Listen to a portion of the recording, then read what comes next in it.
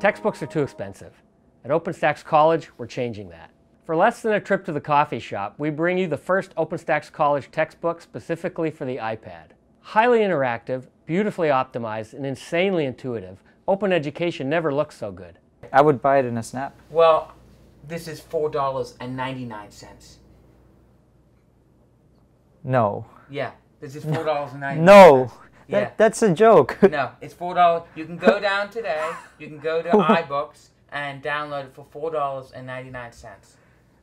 I think some of the games that I've bought on my iPad are more expensive. People are paying $200 for basically a stack of paper pages glued together. What we're offering with these OpenStax college textbooks is a much more inexpensive and completely immersive experience that lets students really interact with the material and, and learn better. Getting our OpenStax college textbooks onto the iPad is just a huge leap forward. Uh, we believe not just for OpenStax college, but for, for learning in general. The iPad is the flagship textbook platform of, of tomorrow, and it's great to be part of that movement. I've taken a few classes where they're like these giant books. Uh, it just sits in my it sits in my cupboard in my room. If I have something that's more interactive on an iPad, like that, that sounds much better. I don't with, with, with a price that's so low, I guess I wouldn't have to worry about reselling.